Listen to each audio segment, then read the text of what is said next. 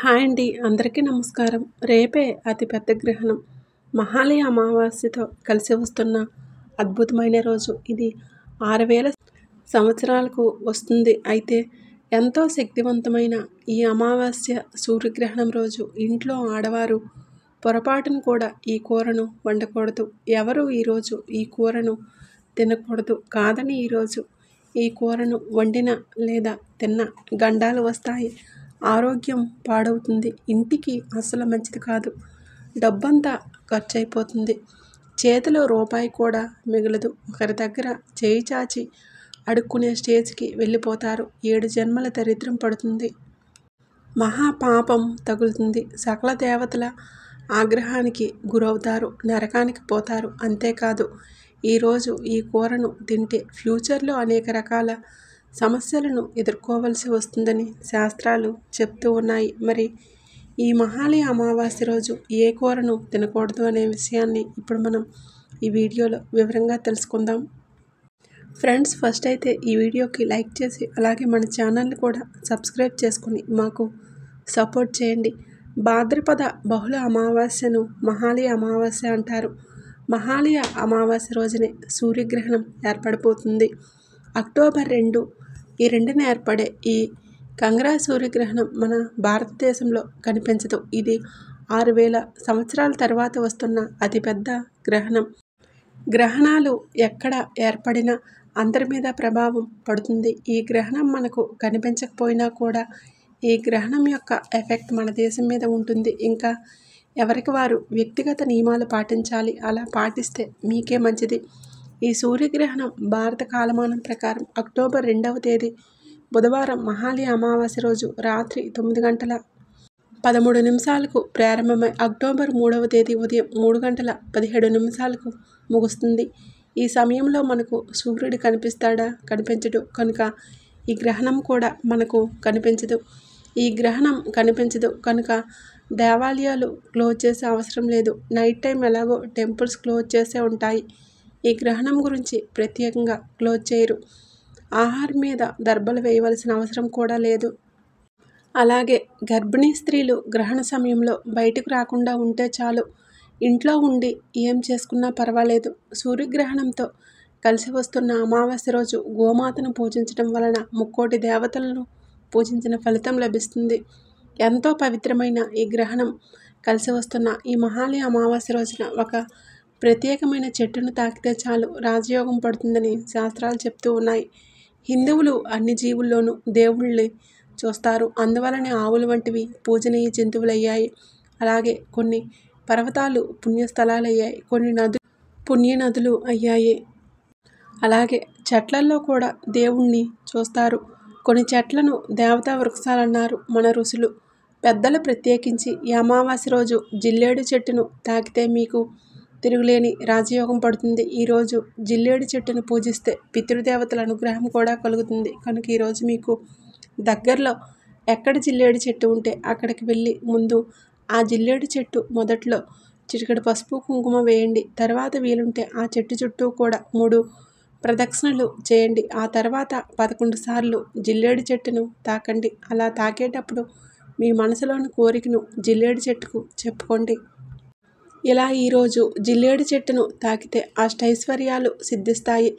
ఈ ప్రాసెస్ అంతా కూడా చేయలేని వారు మీకు జిల్లేడు చెట్టు కనిపించినప్పుడు ఆ చెట్టును జస్ట్ పదకొండు సార్లు తాకినా చాలు మీ కోరికలు నెరవేరుతాయి. ఇలా జిల్లేడు చెట్టును తాకిన తర్వాత ఆ చెట్టు దగ్గర రెండు నిమిషాలు నిలబడి ఆ తర్వాత ఇంటికి వెళ్ళిపోండి. ఇలా తాకడం వలన మీకు ఉండే కష్టాలు పోతాయి. మీ దశ మారిపోతుంది. అసలు జిల్లేడు చెట్టునే ఎందుకు తాకాలంటే ఈరోజు జిల్లేడు చెట్టులోని ధాతువులు యాక్టివేట్ అవుతూ ఉంటాయి. జిల్లేడు చెట్టుకు విపరీత శక్తులు వస్తాయి కనుక అందరూ ఈరోజు జిల్లేడు చెట్టును తాకండి. అప్పుడు ఈ చెట్టులోని శక్తులు మీలోనికి ప్రవేశించి మీ ఒంట్లోని చెడంతా కూడా పోతుంది. తరతరాలకు తరగని ఐశ్వర్యం వస్తుంది. నక్కతోక తొక్కినట్లు మీరు రాజ్యమేలుతారు అంతేకాదు ఈరోజు ఈ చెట్టును తాకడం వలన గ్రహణ దోషాలు కూడా పడవు. తెల్ల జిల్లేడు చెట్టు లేదా మామూలు జిల్లేడు చెట్టు ఏ జిల్లేడు చెట్టును తాకినా మీకు అద్భుత శక్తులు వస్తాయి.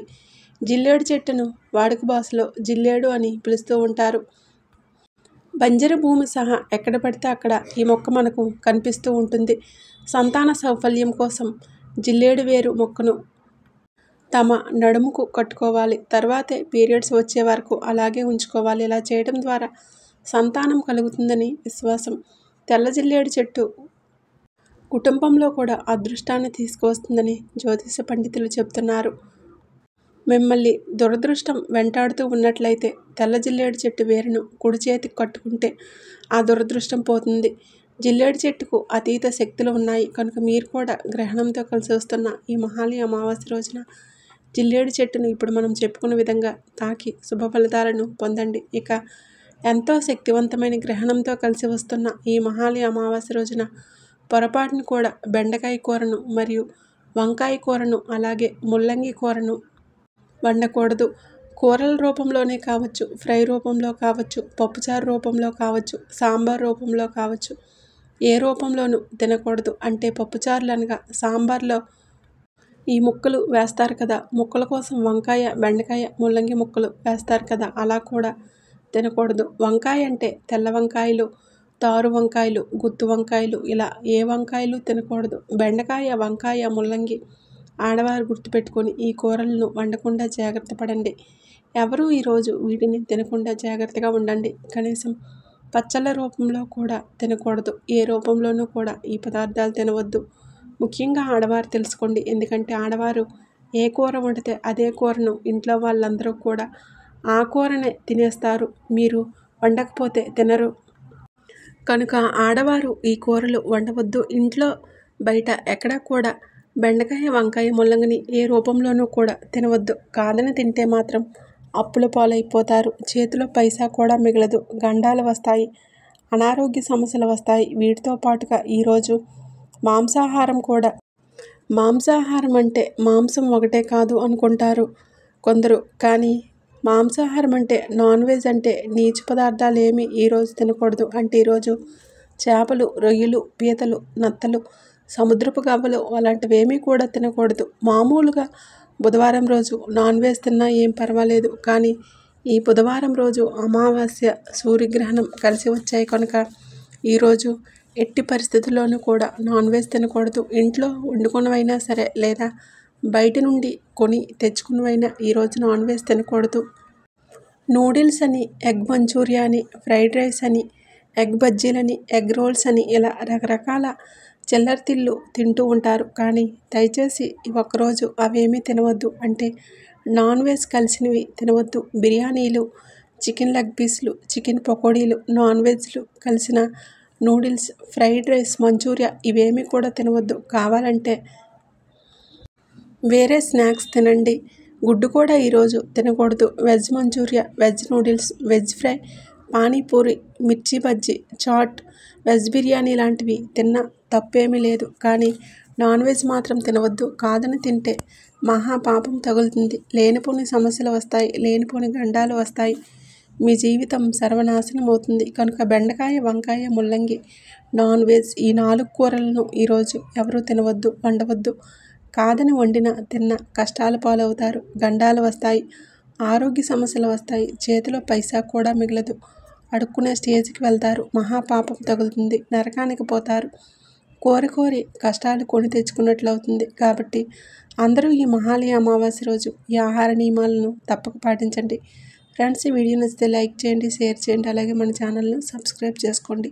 వీడియో పూర్తిగా చూసినందుకు ధన్యవాదాలు.